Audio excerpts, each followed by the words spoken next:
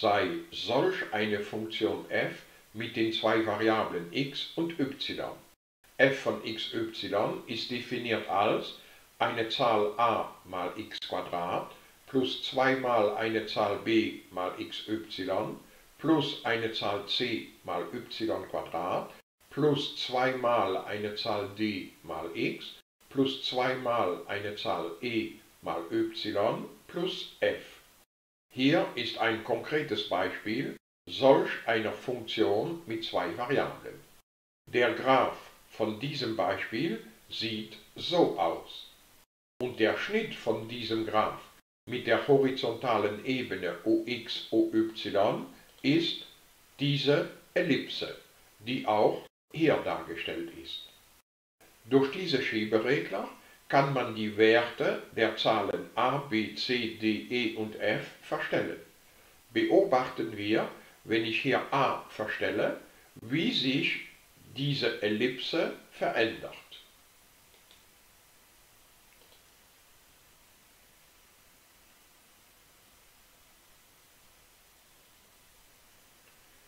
Jetzt ist dieser Schnitt zur Hyperbel geworden. Ich verstelle jetzt b, auch c, d, e und f. Der Schnitt des Funktionsgraphens mit der horizontalen Ebene OX, OY ist ein Kegelschnitt.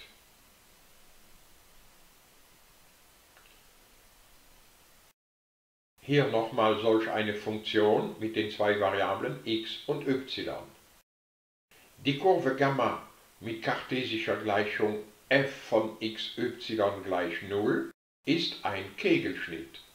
Und durch diese Zahlen a, b, c, d, e und f können wir verschiedene Eigenschaften des Kegelschnitt herausfinden.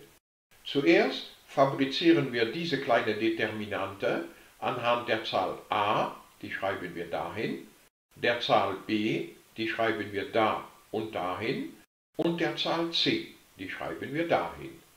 Diese Determinante berechnen wir durch a mal c minus b Quadrat und diese Differenz nennen wir klein Delta. Wenn diese Zahl Delta streng positiv ist, dann ist Gamma automatisch eine Ellipse. Wenn diese Zahl Delta streng negativ ist, dann ist Gamma eine Hyperbel. Und wenn diese Zahl Delta gleich 0 ist, dann ist Gamma eine Parabel. Jetzt fabrizieren wir diese Determinante anhand dieser Zahlen a, b, c, d, e und f. Die Zahl a schreiben wir dahin. Die Zahl b schreiben wir da und da. Die Zahl c schreiben wir dahin. Die Zahl d schreiben wir da und da. Die Zahl e schreiben wir da und da und die Zahl f schreiben wir dahin. Wenn diese Determinante gleich 0 ist, dann kann man f von x, y faktorisieren in dieser Form. Wir haben hier das Produkt von zwei Faktoren, das 0 ergibt. Also ist der erste Faktor 0 oder der zweite Faktor 0. Dieser erste Faktor gleich 0 ist die kartesische Gleichung einer Geraden, die wir d1 nennen. Dieser zweite Faktor gleich 0 ist die kartesische Gleichung einer Geraden, die wir d2 nennen. Also, in dem Fall, wo diese Determinante 0 ist, sagen wir, dass der Kegelschnitt Gamma gleich ist zur Vereinigung dieser zwei Geraden. Man sagt dann, Gamma sei zerfallen in zwei Geraden. Umgekehrt gilt, wenn Gamma zerfallen ist, dann muss diese Determinante 0 sein. Weitere Eigenschaft von Gamma, um das Zentrum von Gamma zu finden, löst man das Gleichungssystem, partielle Ableitung dieser Funktion f nach der Variablen x gleich 0 und partielle Ableitung dieser Funktion f nach der Variablen y gleich 0. Weitere Eigenschaft von Gamma, Die Steigungsfaktoren der Symmetrieachsen sind die Lösungen m von dieser Gleichung. Wenn diese Zahl b da und da gleich 0 ist, dann sind die Symmetrieachsen von Gamma parallel zur x-Achse und parallel zur y-Achse. Weitere Eigenschaft von Gamma, die Steigungsfaktoren der Asymptoten von Gamma sind die Lösungen m von dieser Gleichung.